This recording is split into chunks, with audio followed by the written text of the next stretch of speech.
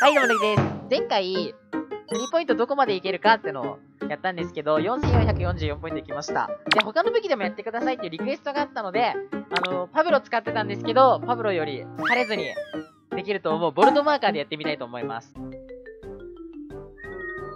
猫泣いてる。はい、じゃあ、今回はボルトマーカーで、塗りポイント更新できるのか、やってみたいと思います。じゃあ、こうやって流していこう。あー、楽だ 楽だ前回は、あの、パブロで、めちゃんこ振ったんですよ。すごい振って。連打しすぎたせいで、もう手とか赤いし、あとね、プロコンがね、なんか壊れそうだったんだよね。すごい大変だった。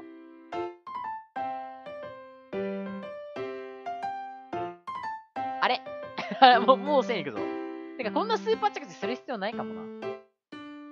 ギリギリまで貯めちゃっていいかもね。ね、貯めるの早いわ。もしやパブロよりいいのでは？もう1200いきましたけど。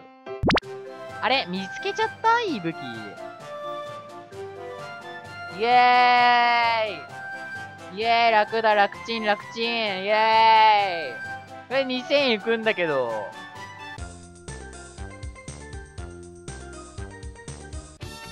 あのね、スペシャルの溜まり具合がめちゃくちゃ早い。最後スーパー着地真ん中にしとこうかな。4、3、2、1。はい 4739更新しちゃった俺の今までのパブロンの努力何だったんだよ。次ね、ダイナモに変えました。あ、でも振るの遅いな。すごい楽。すごい楽。今までのパブロの努力何だったんだろうな、俺の。あ、倒しちゃった。倒し、えちょっと待って倒しちゃう、倒しちゃう、倒しちゃう倒しちゃう事件が発生中。ダイナモの威力強すぎて、みんな倒しちゃうよ。めっちゃ下がってる。めっちゃ怖がってる。ごめんね。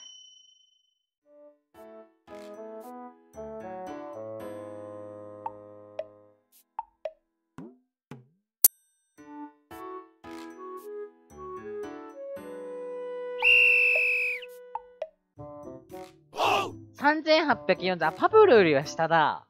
ただ倒しただけになっちゃった。